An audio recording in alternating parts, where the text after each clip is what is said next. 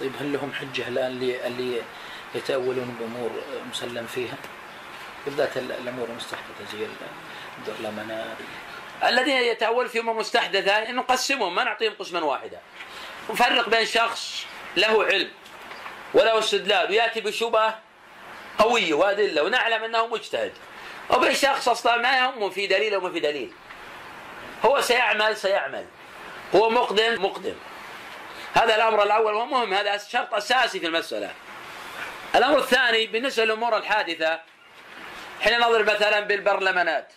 الإشكالية في البرلمانات ليست قضية الآن أنك تريد أن تصلح القضية أنك تشارك تشارك وما في بوادر تغيير. اللهم قد تقول بخفف الضرر.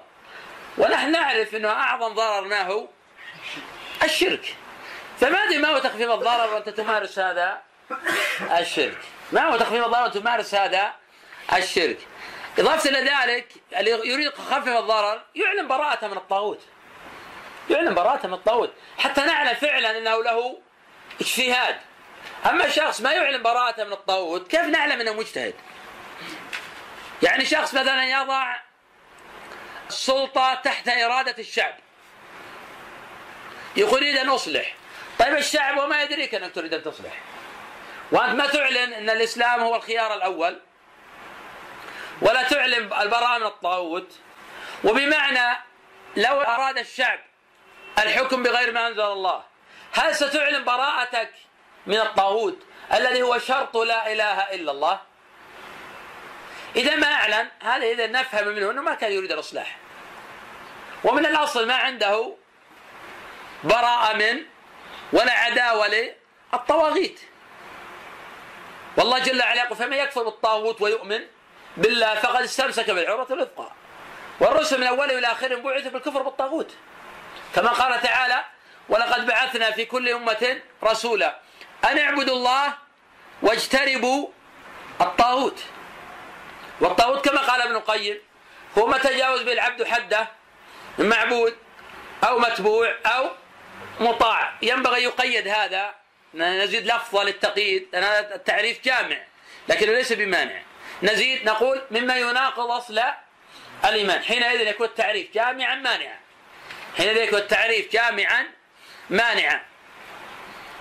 فعلى هذا لابد من البراءة ولا بد من إظهار الإسلام بمظهر العزة بمظهر القوة بمظهر الشجاعة.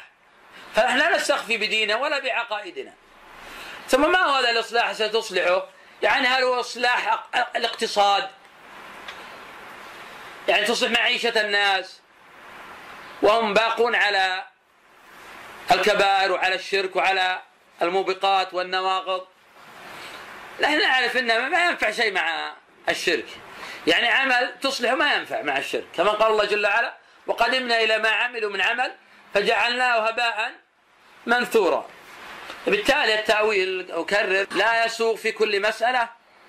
وإذا قبل من شخص ما يعني قبوله من شخص آخر ونفرق بين عالم له علمه له استدلاله له شبهة كما قال ابن حجر الفتح بحيث يكون تأويل المقبول يقول له وجه في العلم ووجه في اللغة. له وجه في العلم يعني ما أدلة يسد بأدلة ما هو بيأتي عن فراغ. وأيضا بشرط لا يرتكب ناقضا. لأن بعض الناس يعني التأويل يكون في المسألة هذه تخطي فيها.